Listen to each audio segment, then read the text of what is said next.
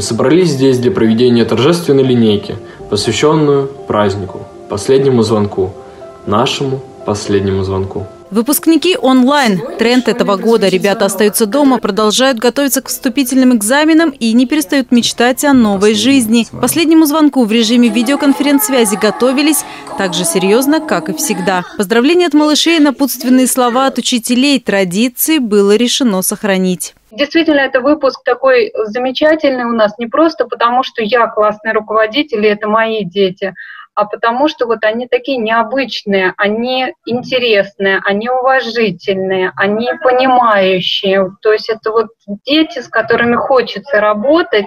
Последний звонок онлайн, но эмоции живые.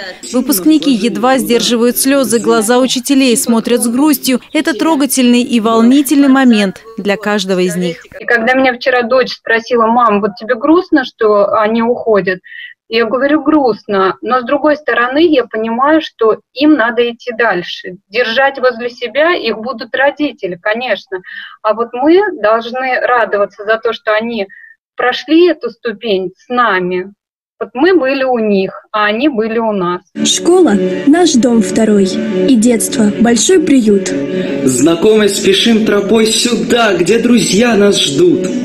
Где наши учителя согреют своим теплом. Высокие тополя над классом шумят окном. Звонок наш серьезен, строг, когда настает урок.